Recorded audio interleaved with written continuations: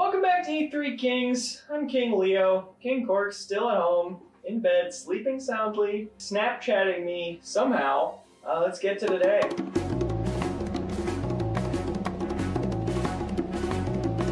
Microsoft had their big presser today. They announced their 2020 vision. And for Microsoft, it's about the games. Specifically, what marketing agencies think that the games might be like.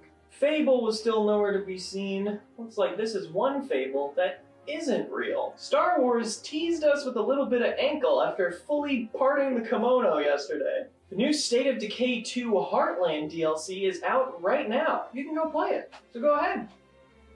What are you waiting for? It's out right now, seriously. You're just sitting there.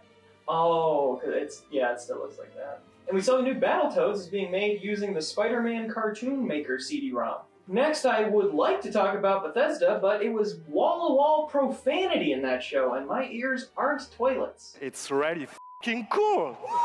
Come Oh, on. come on. I guess there's no more audio for the stream. If that's how you're going to act, Bethesda, I'm just going to turn the audio Yeah. off, okay? I- I'll turn it back on. Okay, yeah, yeah, thank you. That was going to be hard to Maybe, maybe do a stream about. But, but it's also pretty f***ing true. Oh, oh come on. We had a few more celebrity sightings today. In the Phantasy Star Online 2 trailer, we caught a peek at the Titanic herself. On our stream, we had a very special guest appearance by Deadmau5. It's going to be a T800 skin in Gears of War, finally combining two franchises that are about 20% good. And of course, Mr. Johnny Pneumatic himself, Keanu Reeves. But his appearance needs a little more unpacking.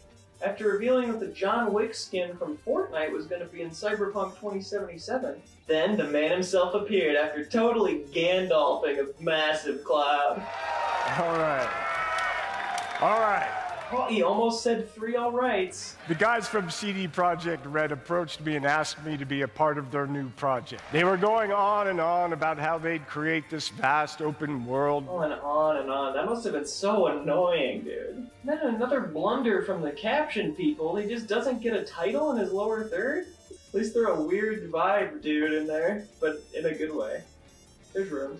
Then he sarcastically read the back of the box. Cyberpunk is set in a metropolis of the future. It's like my dad when he feels like being rude to me. The interactive portion of the show is pretty engaging, where Keanu fielded heckles from the audience. Is really going to be breathtaking. You're breathtaking. You're all breathtaking. All right, all right, all right. So That's three alrights! Imagine if we were using this time to give you, like, interesting information about a game. You're interesting. Shut the f up! And also, we saw his co-star from Johnny Pneumatic is back, uh, the whip guy. Uh-oh. Time for fails of the day. First fail's gotta go to us for our first episode where we forgot to use these slide whistles we bought specifically for fails. Here's a fail. Gears Funko had the most gameplay of anything at Microsoft's conference. Literally not a joke. the new Alan Wake game is called Blair Witch, which is kind of a name recognition fail. if you Ask me. The new Xbox was announced for holiday 2020, and they showed it off. It just looks like a bunch of microchips. I don't want to. That's gonna hurt my hands.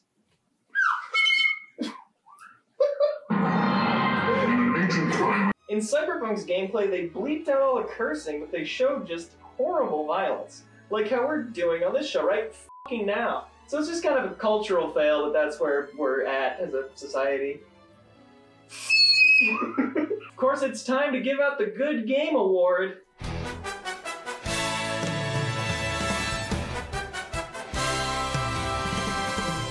Today's Good Game Award goes to the LEGO Speed Champions expansion for Forza.